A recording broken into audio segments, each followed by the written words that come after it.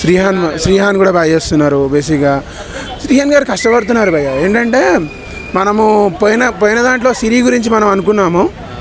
Same తన partner Shrihan కూడా చాలా బాగా కష్టపడుతున్నారు. ఎంటర్టైన్ బాగా చేస్తున్నారు బేసిక్గా చెప్పాలంటే. బయట ఎట్లాగో తను ఎంటర్టైనరే. ఇక్కడ కూడా ఎంటర్టైన్మెంట్ అయితే కంటిన్యూ అవుతుంది భయ్య చెప్పాలంటే.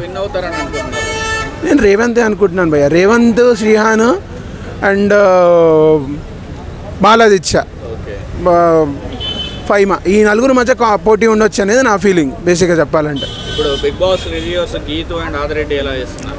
గీత ఆదిరెడ్డి అంటే గీత కొంచెం ఓవర్ చేస్తుంది భయ్య ఎందుకనాలి కానీ. ఆదిరెడ్డి కొంచెం స్ట్రాటజీగానే ఆడుతున్నారు.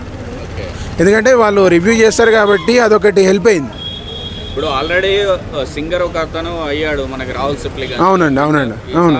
రేవంత్ స్కోప్ ఉందండి స్కోప్ ఉంది. కాకపోతే ఏంటంటే చూడాలంటే ఇప్పుడు వరకు చూసినప్పుడు అయితే తను ఆ, నేను నేను రీసెంట్గా ఒక బైట్ కూడా చూసాను అంటే ఒక రీల్ టైప్లో ఒక కట్ కూడా చూసాను అంటే నార్మల్ రెగ్యులర్ రెగ్యులర్ దాంట్లో రాకుండా ఆ, వచ్చిన దాంట్లో ఒక స్పెషల్ షార్ట్ టైప్లో చూసాను దాంట్లో రేవంత్కి ఆ కంటెస్టెంట్స్లోనే చాలా చాలా పాజిటివిటీ ఉంది.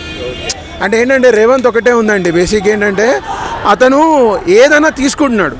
అంటే ఎట్లా అంటే ఈ వీళ్ళు చిన్నోళ్ళు నన్ను అనేది ఏంటి? లేదంటే ఎవరైనా ఏమనంటే మీద పడిపోవడం. ఒకప్పుడు ఎగ్జ అగ్రెసివ్ ఉంటుండే. బట్ రాను రాను అగ్రెసివ్నెస్ తగ్గిపోయి తను గేమ్ మీద బాగా కాన్సన్ట్రేట్ చేస్తున్నారండి. లైట్ తీసుకుంటున్నారు కొంచెం చెప్పాలంటే. అంటే ఎవరు ఏమన్నా కానీ మనోళ్ళే కదా మన ఇంట్లోలే కదా అన్నట్టు లైట్ తీసుకుంటున్నారు. మీ ప్రిడిక్షన్ ఫైనల్ విన్నర్ ఎవరైతారు అన్నర్ ఎవరైతారు?